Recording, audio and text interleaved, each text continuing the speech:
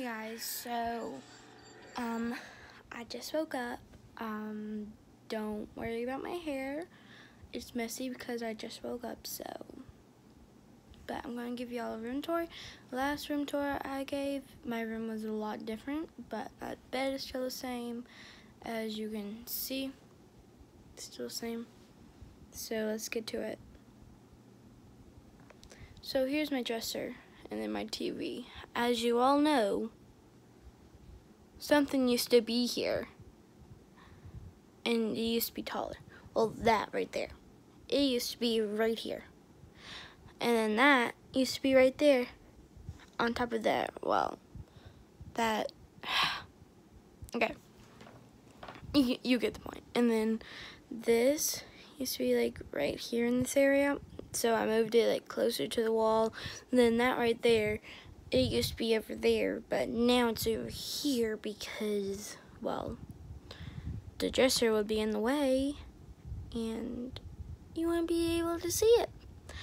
And then, um, like, I made this on the, on May 9th with my friend.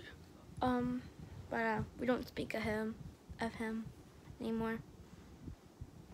Um, and then my mirror, it's still the same, and then, um, like there's carpet in the chair. Why isn't that fully on the carpet? Well, there's a chair that goes right there, but uh, I'm sitting in it right now. And then there's my roller skates. I went roller skating yesterday with my friend Tori and with my friend who we don't speak of anymore.